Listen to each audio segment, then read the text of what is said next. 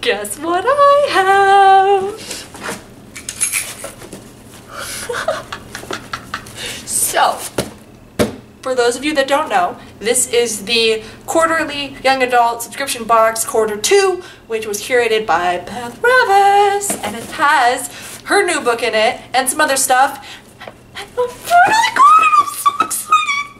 So, as you can see, I haven't opened it, so this is gonna be as new for me as it is for you. So, let's do this.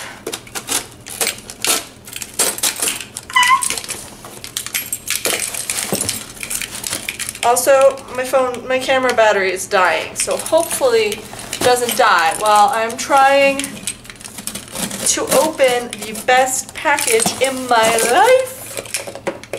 Wait, how is that side taped? Okay, I got this.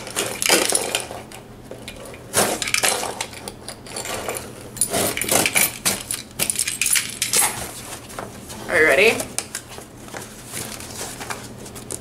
If I can open it, come on. ba ba ba ba.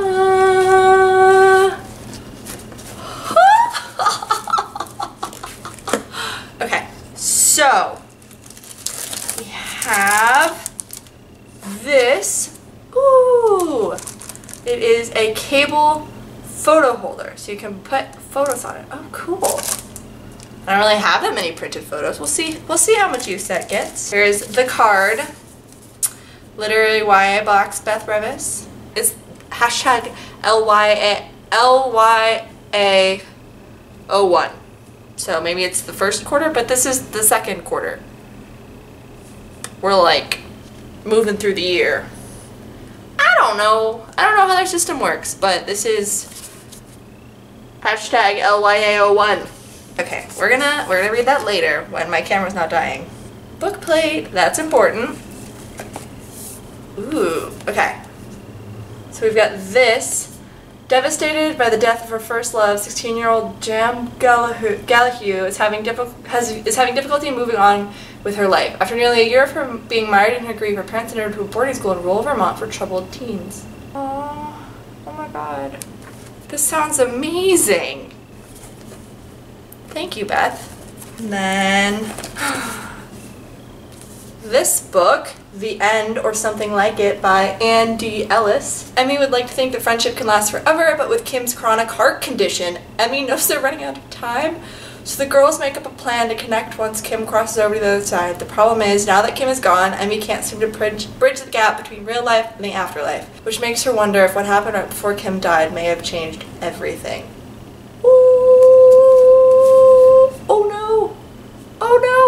These books are really sad. it's the big one! A World Without You by Beth Revis. This cover is really like soft. It's textured.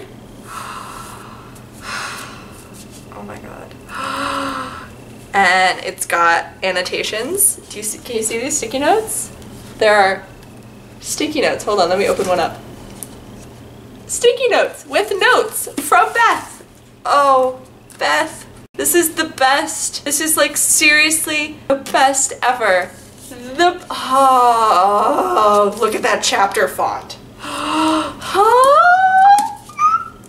okay, I'm gonna read this immediately. Oh my god. Wait, what does it look without the dust jacket on? Oh, red. Look at that. Look at that. Probably has something to do with the uh, red string for the photo hanger.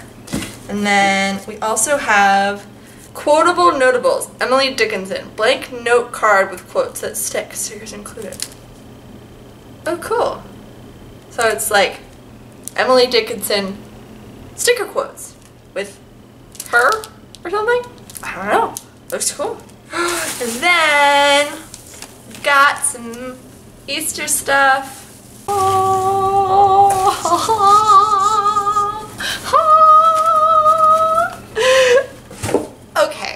that is everything that is in the glorious, glorious, glorious quarterly box. Um, I'll put a link in the description to the specifically YA box. Um, I don't know if they're out of this one. They probably are, but you can order next quarters, which is something I don't know what it is. And in the meantime, I will have these to play with. And by play with, I mean read. And Beth's letter, which is like lots of pages. Ah! I'm really excited. And I worth every penny and every hour that I waited. Okay, you guys go do whatever you're gonna do. I'll see you when I see you.